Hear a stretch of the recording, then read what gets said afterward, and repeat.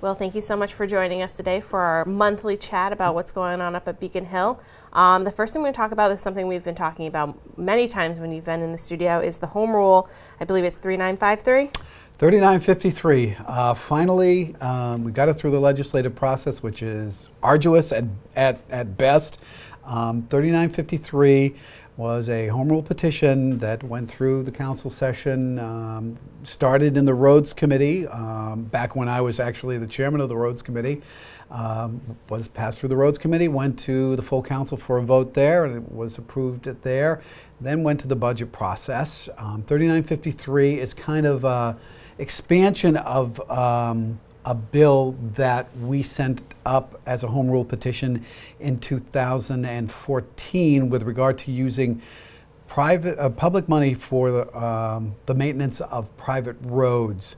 Um, that piece of legislation in 2014 said that that money could only be used for the actual physical construction, um, whatever you need, the asphalt and the trucks and all of that sort of stuff, to actually physically maintain the road. What um, House Bill 39, um, 3593 asked for was to expand that a little bit to say you could also use the money for planning, engineering, and design.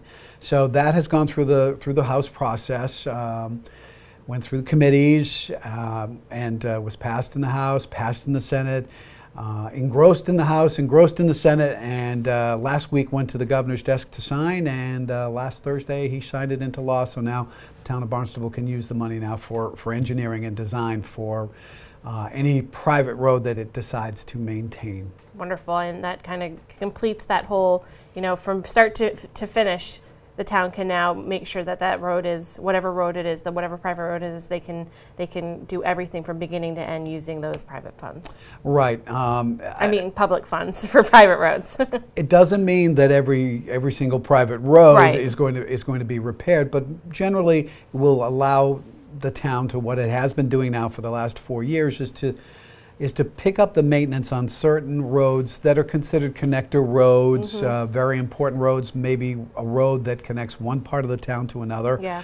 Or maybe the town to another town, um, Mashpee Wakeby Road out in um, out in Cotuit, Santuit, out that area which connects into into Mashpee, um, and and roads that connect into other parts um, of the town, north to south, east to west, um, that are considered, you know, very, very important roadways, mm-hmm. the town will now be able to use that money from start to finish to be able to engineer any changes they want to make on it and actually do the physical work. Wonderful.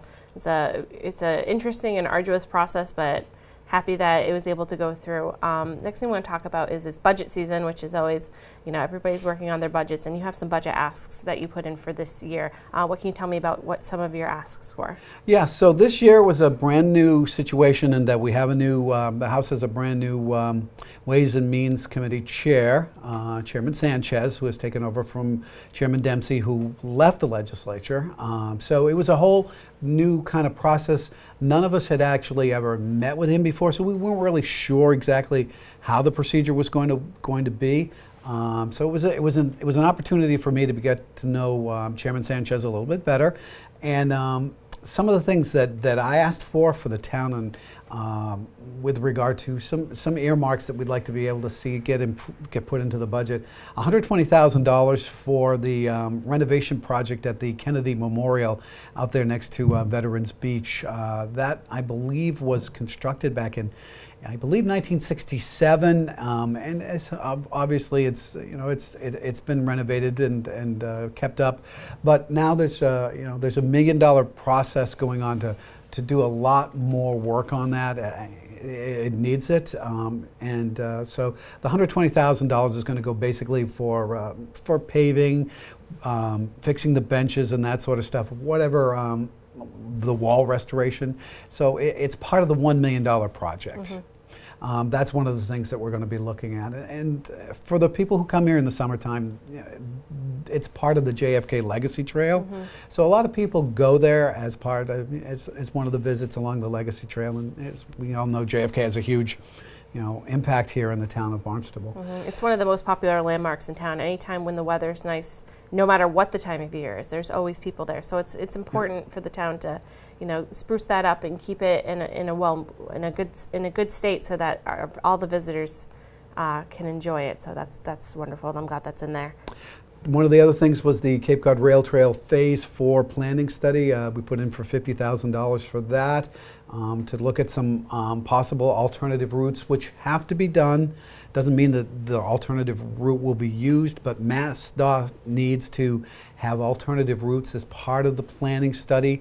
Um, just uh, so in case they have to be used, but it's good to have that uh, information in the study. So they ask for alternative routes to be used. Um, so that's the $50,000 will be um, part of the um, Cape Cod Rail Trail study. And we also asked for $50,000 for some uh, renovation work, repair work out at um, Blish Point out in Barnstable um, because there's, um, you know, doing some repair work. There's always erosion at beaches and, um, you know, over time things need to get fixed and um, hopefully there will be uh, an earmark for $50,000 to be able to, to get some of that work done. Wonderful. It's a, it's a busy location in town for sure. Is there anything else you'd like our viewers to be aware of before I let you go today? Um, just one one of the other things that um, that I, that I probably don't get a chance to, to say, um, depending on when um, um, these things air. But I always have office hours, always on the first Friday of every month uh, here in Barnstable. From noon to 1.30, I have an office up on the third floor um, next to Lynn Poyant's office. And uh, anybody who uh, wants to talk about issues with regard to uh, the town of Barnstable, uh, with respect to things that I can um, work on up at Beacon Hill, uh, they are they're welcome to come in and talk about those issues. It's again, it's always the first Friday of every month. Um, rain, snow, or whatever, Right. uh, uh, from 12 to 1.30. And, uh, you know, anyone who wants to come up, um, be welcome to sit down and talk with them. Wonderful. Well, thank you so much for joining us today. I really appreciate it. Thank you very much for having me. Thanks. My guest today is Will Crocker. He's the state rep in the second Barnstable district.